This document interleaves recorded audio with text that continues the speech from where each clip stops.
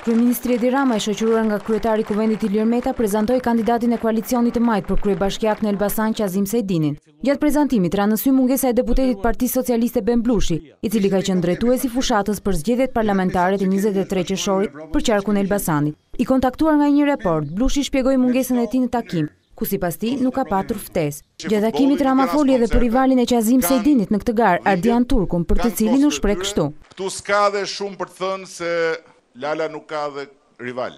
Morën Ardian Turkun e shkretë e sollën prapë këtu, se për ça e sollën dhe për ça erdhi ai, këtë e dinë ata, po nuk e kuptoj se si, aq më tepër elbasanasit, mbasi e kanë provu i herë, s'u ka dalë gjo, ta provojnë prapë, për ça?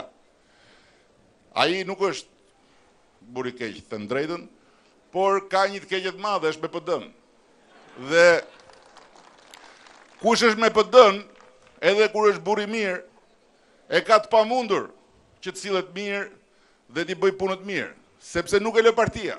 Duke prezantuar kandidatin Qazim Sejdini, Rama foli edhe për instalimin e impiantit të parë të teknologjisë të përpunimit të mbetjeve urbane, projekt që ka mbështetjen e qeverisë. Kryeministri Rama tha se do të vazhdojë të mbështetet realizimi i projekteve për këtë qytet, ku gjatë këtyre tetëmbëdhjetë muajve është kthyer në një shembull i rilindjes urbane.